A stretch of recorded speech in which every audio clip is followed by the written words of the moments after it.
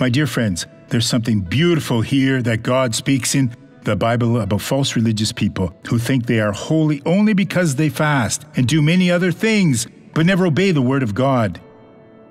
They act like Israel from the Old Testament. They would sacrifice animals and that and meant nothing. They would eat the meat and were still blessed by God. Take a look at what it says here in the Word of God in the book of Isaiah 65 5, who say, Keep away, don't come near me, for I am too sacred for you. Can you believe that? Such people, this is God speaking, such people are smoke in my nostrils, a fire that keeps burning all day.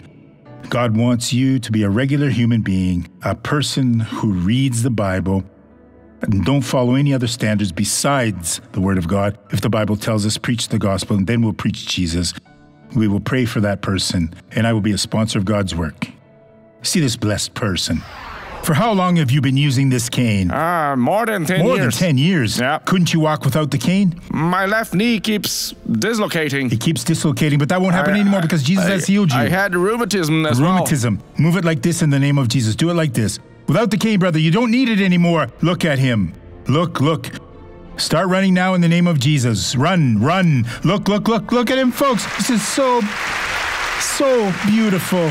Come back running now, brother. Hallelujah, hallelujah, hallelujah, hallelujah. Glory to Jesus. Shall we pray now, Father? I bound all evil that forbids this person to sponsor your work. No one is so poor that they can't take something to bless your work.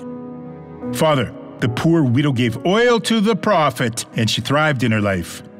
Thank you so much, Father. In the name of Jesus, amen.